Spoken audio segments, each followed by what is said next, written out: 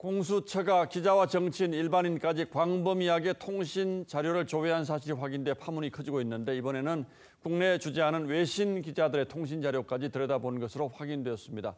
한국의 검찰 검사나 공수처 관계자를 접촉하거나 취재한 적도 없다는데 어떻게 된 일인지 이채연 기자가 단독으로 취재했습니다.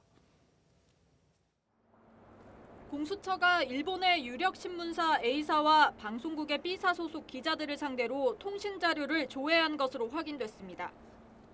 두 명 모두 외신 기자 클럽에 등록된 기자인데 통신 자료 조회는 7월과 8월에 한 번씩 각각 두 번 이뤄졌습니다.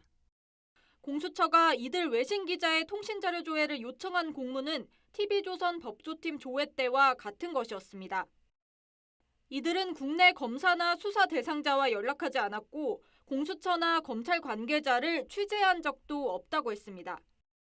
통신 조회가 이뤄질 무렵 A사 기사에서 공수처 관련 언급을 한 건한 대목뿐. 6월 이준석 국민의힘 대표를 소개하는 기사에서 공수처가 윤석열 전 총장에 대해 수사를 시작한다는 게 전부였습니다. B사는 공수처 기사를 쓰지도 않았습니다.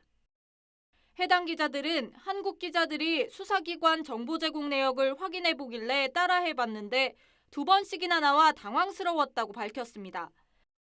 그러면서 공수처가 외신 기자 통신 자료까지 확인하는 이유가 뭔지 의문이고 두렵기까지 했다고 덧붙였습니다. TV조선 이채연입니다.